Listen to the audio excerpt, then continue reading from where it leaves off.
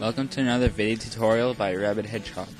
For any places or links mentioned in the video, check my website at www.rabbidhedgehog.co.nr.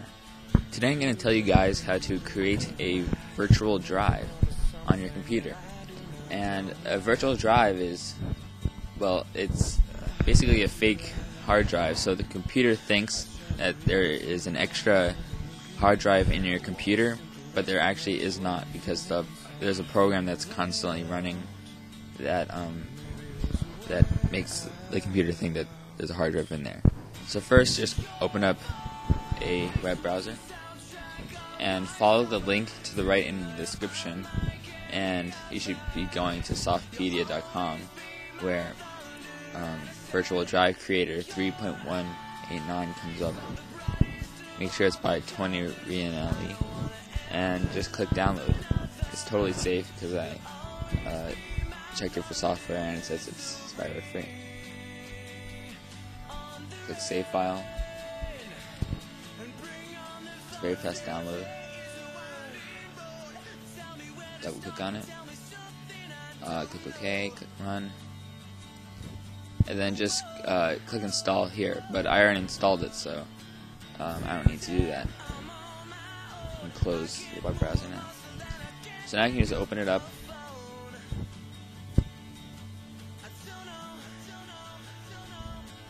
It's called V-Drive Creator, and um, just click on one of the click on the letter for a drive that you want. So um, I I already have an O drive, but I I guess I can make an M drive.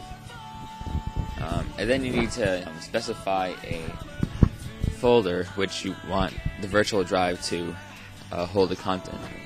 So um, it already make one makes one for you, but you can also just specify your own um, virtual drive. And so now you can just click the create button, and then it should say virtual drive M has now been created. Um, but for in order for it to show up, you have to start your computer. Um, but I will show you this virtual drive here that I made. Um, I just named it O. And I set up a whole new drive here with program files, downloaded programs, and, and sort of keeps it separate from the rest of your computer to in case you want to organize your stuff.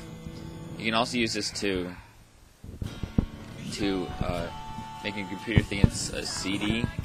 So say you want to um, make the computer think that a game is on your computer, so you can just pop in a video game that's on a CD, and then copy all the contents to a virtual drive, and then and then you'll be able to play it from your computer. So that's how to create a virtual drive. For more information, just visit my website at rabbidhedgehog.co.nr, and that's with two B's. And do not forget to subscribe. Just press that little yellow button to the right or on my channel. Thank you for watching.